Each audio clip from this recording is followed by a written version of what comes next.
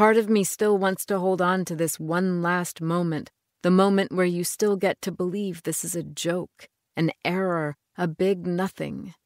The moment before you know for sure that something has started that you can no longer stop. I unfold the paper. Owen's note is short.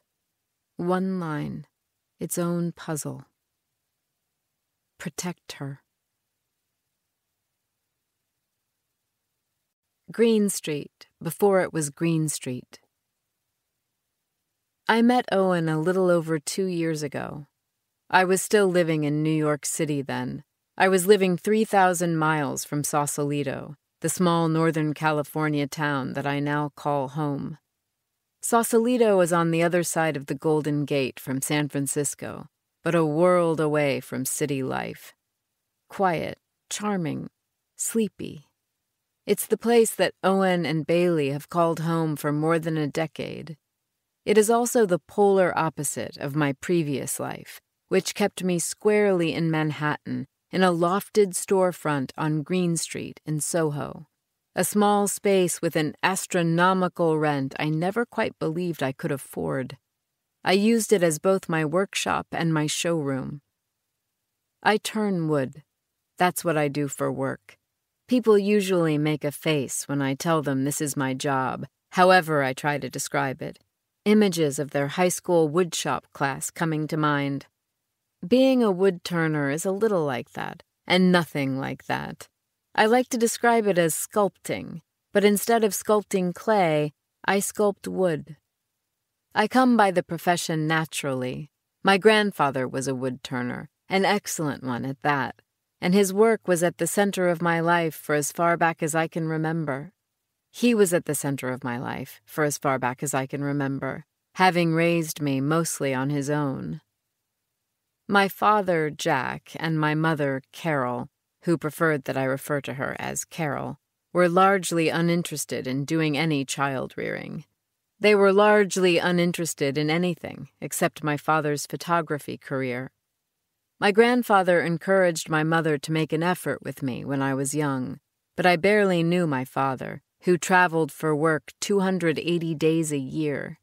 When he did have time off, he hunkered down at his family's ranch in Sewanee, Tennessee, as opposed to driving the two hours to my grandfather's house in Franklin to spend time with me. And shortly after my sixth birthday, when my father left my mother for his assistant, a woman named Gwendolyn, who was newly 21, my mother stopped coming home as well.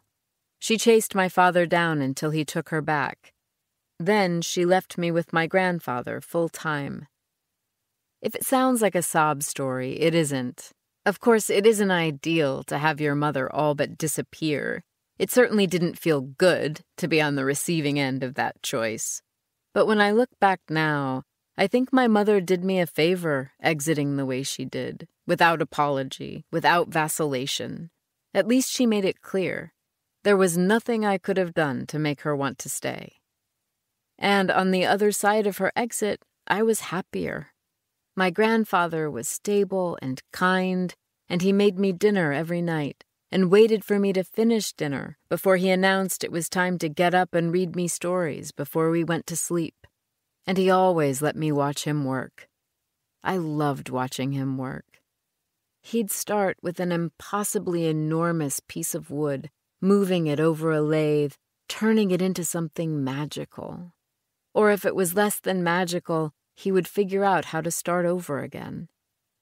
That was probably my favorite part of watching him work. When he would throw up his hands and say, Well, we've got to do this different, don't we? Then he'd go about finding a new way into what he wanted to create. I'm guessing any psychologist worth her salt would say that it must have given me hope, that I must have thought my grandfather would help me do the same thing for myself, to start again. But if anything, I think I took comfort in the opposite. Watching my grandfather work taught me that not everything was fluid. There were certain things that you hit from different angles, but you never gave up on. You did the work that was needed, wherever that